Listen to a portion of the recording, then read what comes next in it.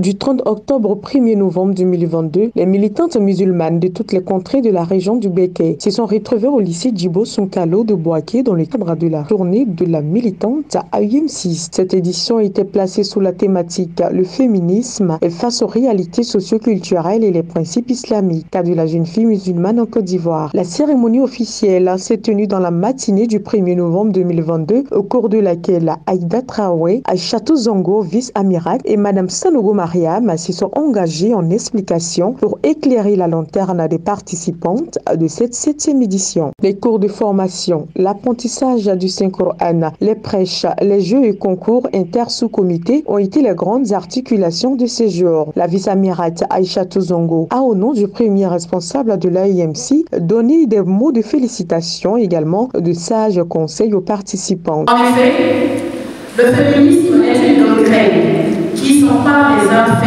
et dont le domaine la solution est la recherche de la connaissance. Ce que l'AMC ne cesse de nous recommander, oui, il faut se former, encore se former pour me mettre critique de cette doctrine. Je voudrais exprimer ma profonde gratitude à tous ceux et toutes celles qui soutiennent le dire, qui nous soutiennent dans cette tâche de militantisme. Les responsables des structures religieuses féminines étaient nombreuses à cette assise.